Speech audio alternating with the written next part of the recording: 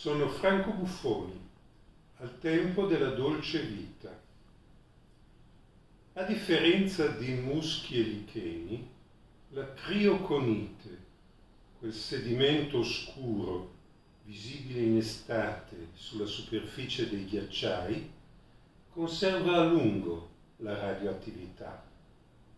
Dai ghiacciai del Caucaso all'arcipelago artico, passando per ciò che resta dei ghiacciai delle Alpi, la crioconite custodisce in abnormi quantità il cesio 137 risalente all'86 cernobiliano e persino gli isotopi di plutonio e americio e il bismuto 207 riconducibili ai test nucleari effettuati in alta atmosfera al tempo della dolce vita, come i polmoni degli ex fumatori ricordano anche ciò di cui il proprietario si è scordato, la crioconite serge a bestia coscienza del secolo breve.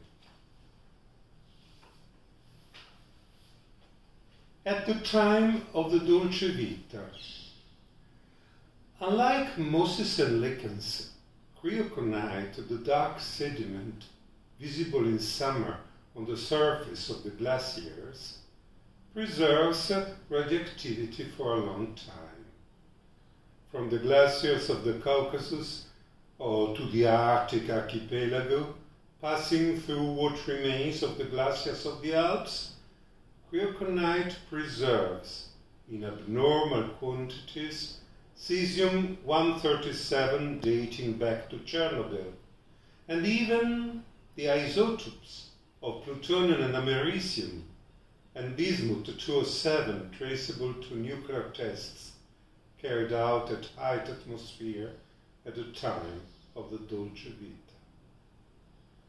Like the lungs of ex-smokers that also remember what their owner has forgotten, cryoconite emerges as the best conscience of the short century.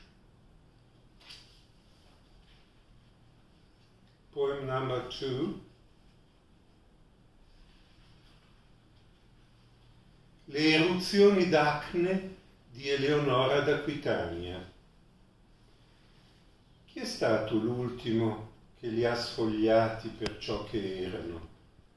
Si chiederebbe Larkin alla notizia che i libri di preghiere sono diventati dei breviari di impronte digitali virus, pestilenze, tragedie, carestie, s'aprono in biologico orizzonte dai codici miniati medievali.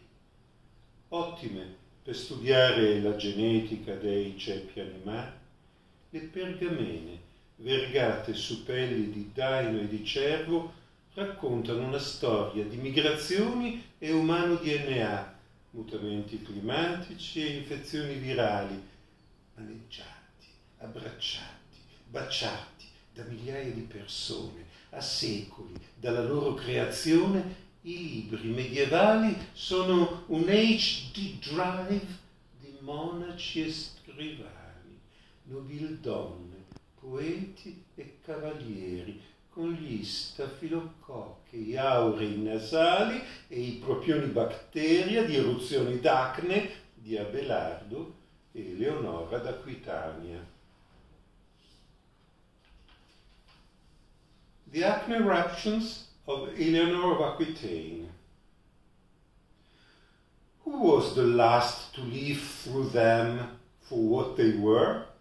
Larkin would ask, at the news that the prayer books had become the breviaries of fingerprints. Virus, pestilences, tragedies, and famines open up on a biological horizon from medieval illuminated manuscripts. The parchments written in buckskin and deerskin are excellent for studying the genetics of animal strains. They tell a story of migration and human DNA climate changes and viral infections, handled, embraced, kissed by thousands of people. Centuries after their creation, medieval books are hard disks of monks and scribes, noble women, poets and knights, with the nasal staphylococci and the propionibacteria from the acne eruptions of Abelard and the Eleanor of Aquitaine. Terza poesia.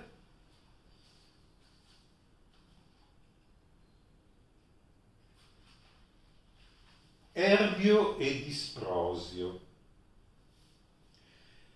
Erbio e Disprosio, gli atomi sottoposti al grande gelo, sono da poco entrati nella tavola periodica degli elementi. Siamo arrivati a meno 273,15 gradi, vicinissimi allo zero assoluto, si afferma con orgoglio al CNR. Le proprietà del liquido ad attrito zero si guadagnano solo ad opera del freddo, fanno eco severi dal MIT. Ed io li ascolto con ammirazione. Anche la mia trachea è incuriosita. Erbio e Disprosio sono due ragazzi con un magnetismo molto forte.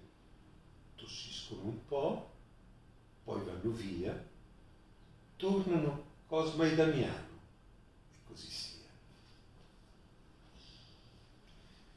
Erbium and Dysprosium. Erbium and Dysprosium, the atoms subjected to the Great Frost, have recently entered the periodic table of the elements. We got to minus 273.15 degrees, very close to absolute zero, the Italian Research Council proudly asserts. Properties of the zero friction liquid are reached only through the workings of the cold, mit Icarus harshly. And I listen to them with admiration. My wine pipe, too, is curious. Erbium and Dysprosium are two boys with very strong magnetism. They cough a little, then go away. They return as Cosmo and Damiano, and they are.